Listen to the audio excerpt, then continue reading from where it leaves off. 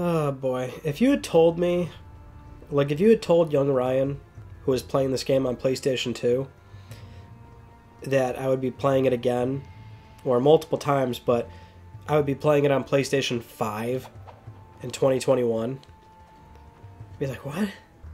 PlayStation 5. I'm still playing Jak. The same Jak.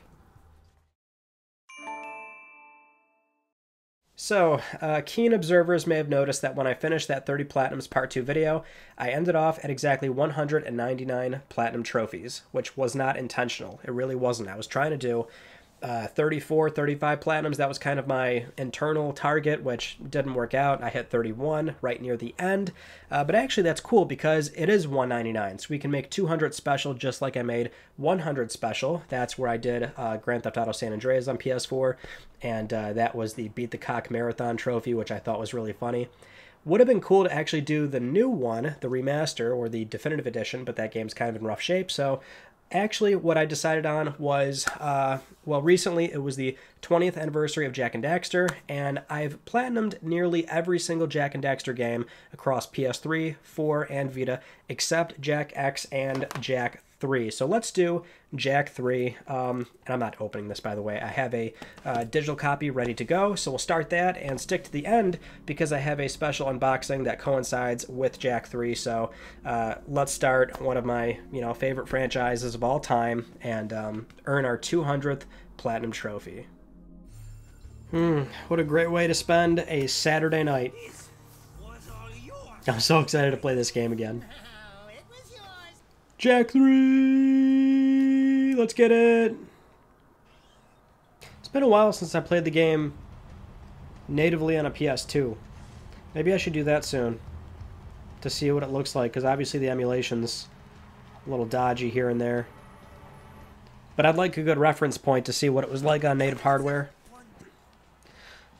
At least with guns, Jak 3 had a pretty deep variety of like modifications to the existing guns that were in Jak 2, which I really liked. You know, I, I feel like Jak 3 is always missing in the conversation of the Jak games.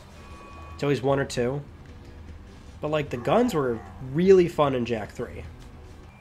I'll, I'll never I'll never not think that that's awesome. I will never not love Dark Jak. It's just it's so sick.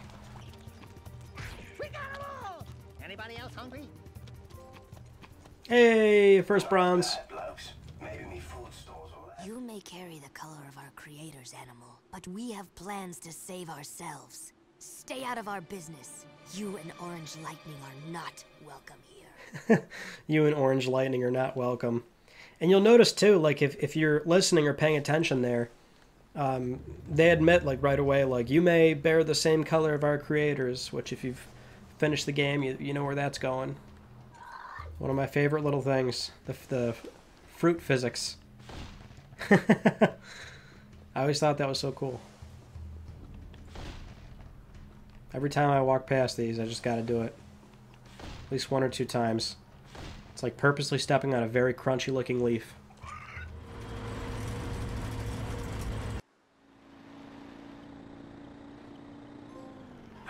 Eat it!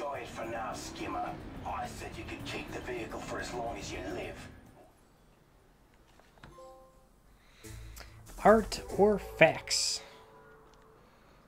I'm already getting hit in the feels for some of these like story beats that I know are coming later on. Oh, I love this mission. It's so dope. When these metalheads hit you, like you just fly across the screen like you're nothing. I thought it was so cool at the time.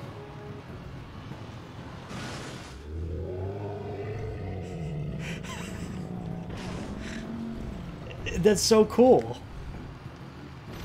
Now I gotta kill it though. Uh oh.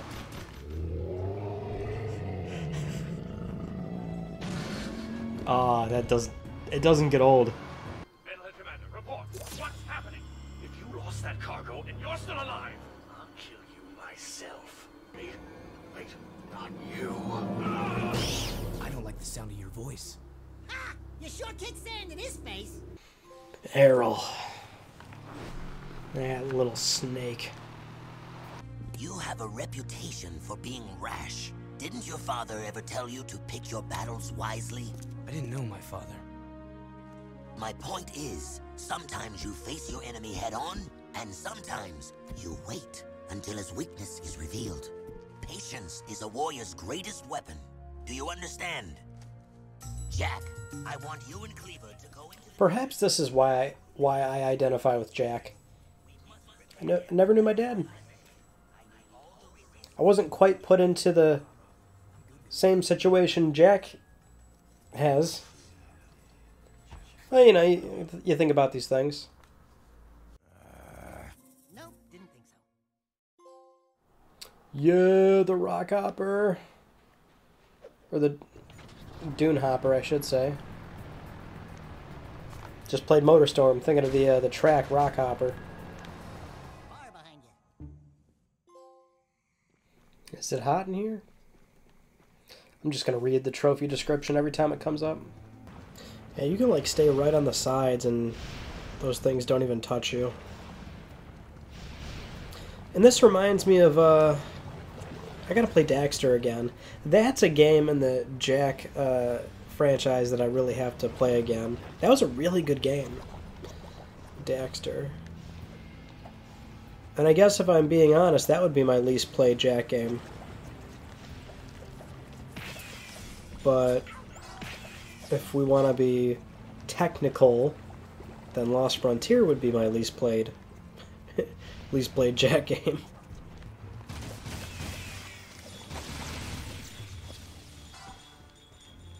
And that's how you cheese an encounter in Jak 3. The reflector, jump, spin, shoot, takes them all out.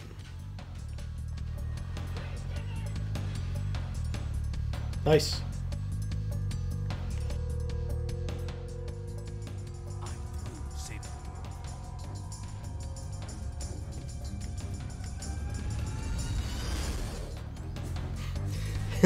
And the trophy's hot babe. I, I mean, I agree, she do be fire, but.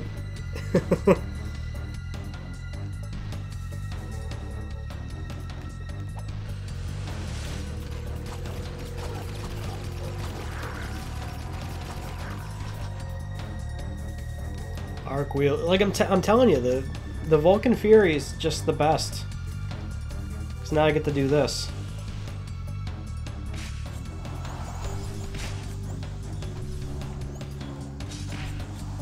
There we go. I really didn't have to get that so soon, but like, they just keep coming.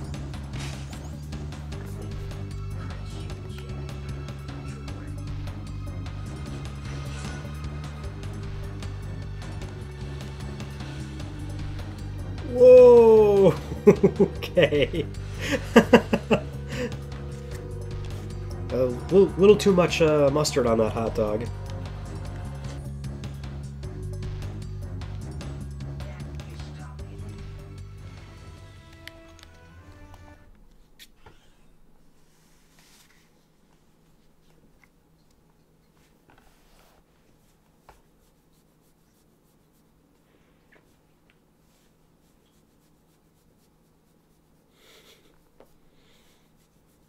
Hello.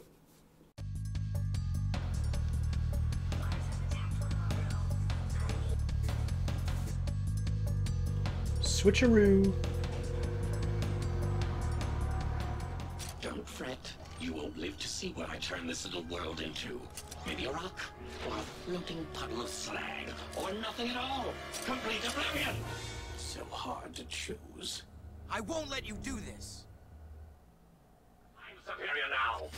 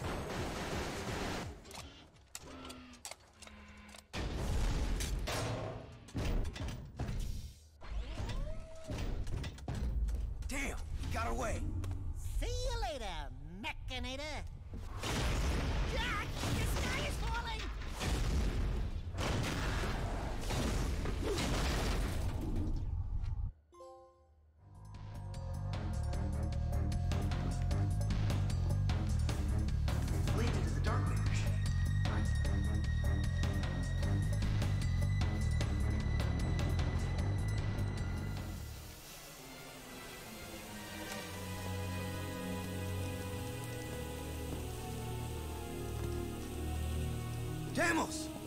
Not bad driving, kid. It was a good fight. and a good day to die. I'm very proud to have been by your side in the end. This world is not yet out of heroes. We did well together. Don't move, Al. Please, promise me one thing. Promise me you'll find my son, Mar.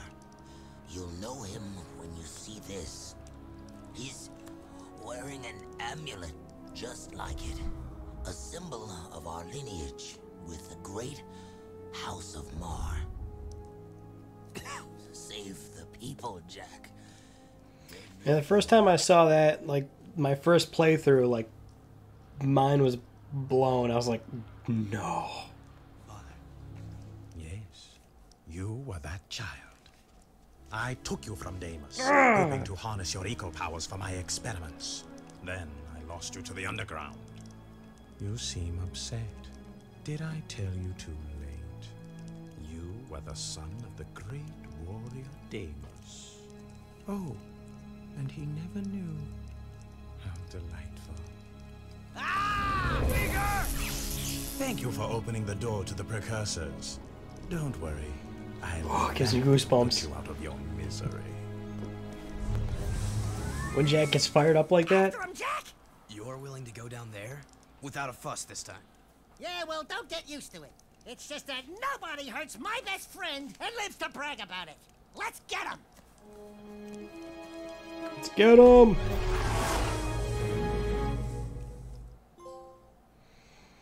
Hmm.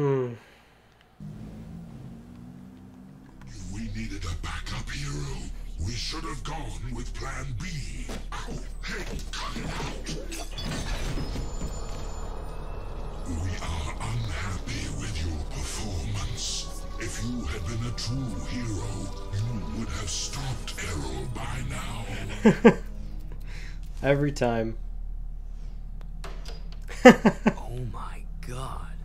Yes, well, uh, now we are even order you to avert your eyes, or we will. Camera. Oh, bother. That was also a pretty big moment for me. When that happened, I was just like, no way. No way. This guy just won't quit! It's headed for the city. We gotta defend it. For Damas. The last charge of the Dark and Light Brigade! Let's do it, partner! To the end. I always thought this was a pretty inventive final boss. Because this whole area played such a big role in Jak 3. And, uh, I don't know, I, th- I thought this was like, you know, some boss fights are kind of hit, hit or miss. I felt this was appropriate given the, uh, this entire setting and what it meant for most of the game. Kind of gives you that larger than life feeling too.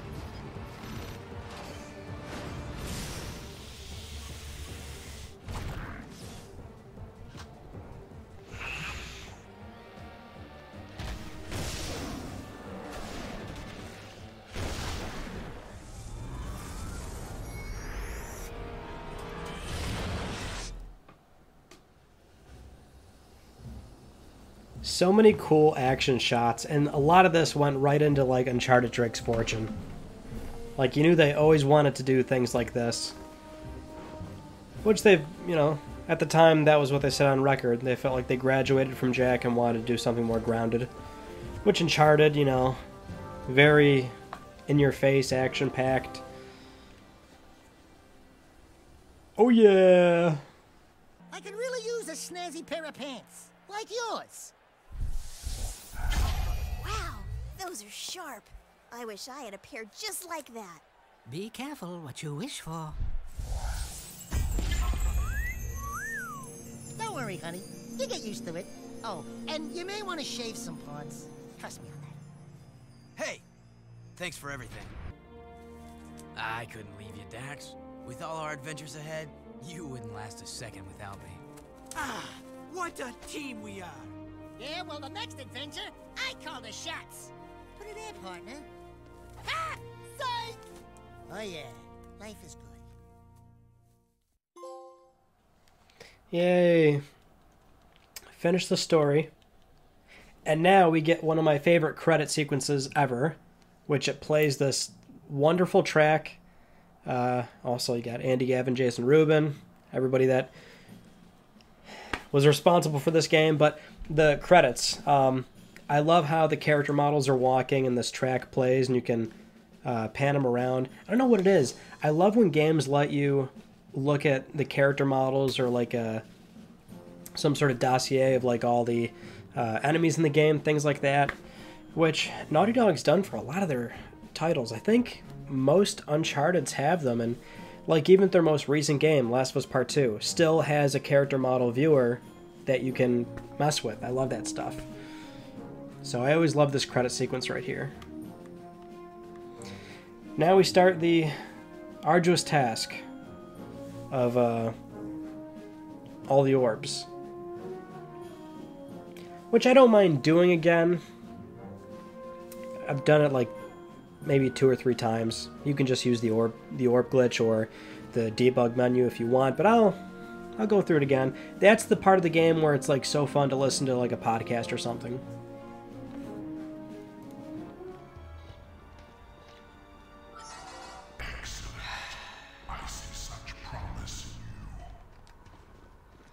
There we go. That's it. Platinum number 200. And I didn't actually read the description for this platinum in particular ahead of time, but I guess it makes sense, right? For stamina and time on your hands and insati- insatiable need for completion, which largely is what I've been doing for the longest time now. And actually, when I think about it, uh, for this like channel, right? Like I slowed down a lot with trophy hunting over the years, but with the YouTube channel, I've now showcased 30, 60 platinums on video, and then uh, this one, Cuphead, Returnal, Astro. I've done like 65 something platinums just uh, you know for a YouTube video alone, but I was always going to play a lot of these games anyway. It's just yeah, uh, I've been doing this for a long time. 200. It's not a lot to a lot of other hardcore trophy hunters that, you know, get upwards of three, four, five hundred, but I'm proud of uh, what I've done so far, I guess. Uh, but now I have a very cool unboxing uh, statue that I've been wanting to open for the past two weeks now, and the timing could not have been better here. It is the Jak 3 Gaming Heads uh, statue, which if you've been here for a long time, you know that I have the Jak 1 and Jak 2 statue. These are uh, pretty, I mean, these are really premium statues that are like two, three hundred dollars. They only make about eight hundred or so uh, per franchise and statue that they work with. So this one I ordered a long time ago, and the box is massive, just like the other ones. Um, now include some footage of the original unboxings to show you what those statues look like. Sometimes I get questions about them. They used to be in the background of a lot of, of a, a lot of shots, but not so much anymore because they're packed away. This is Jak 3. Oh, daddy. That's what we're looking for.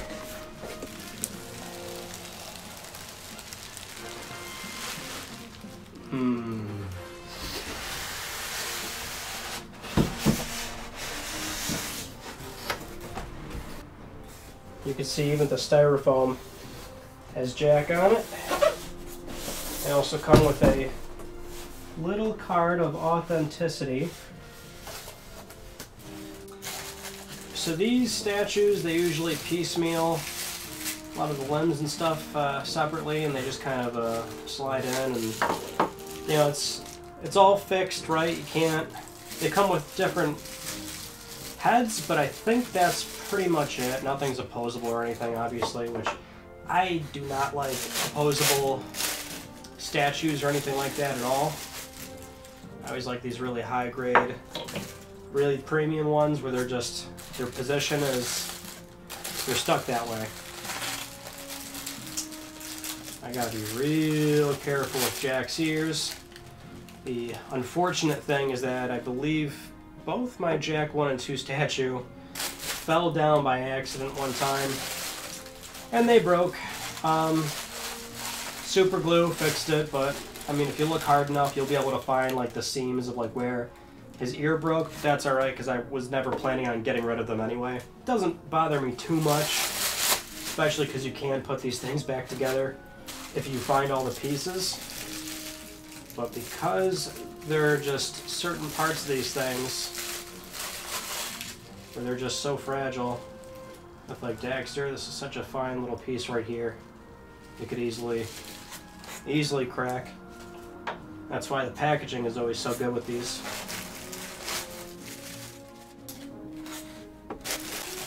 There's the bulk of his body. Little standee. Accessory right here.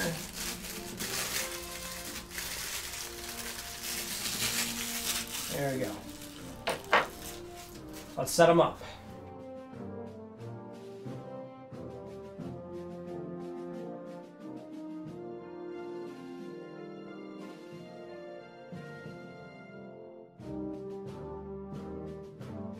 Thank you so much for joining me in this 200th Platinum Trophy celebration, if you will.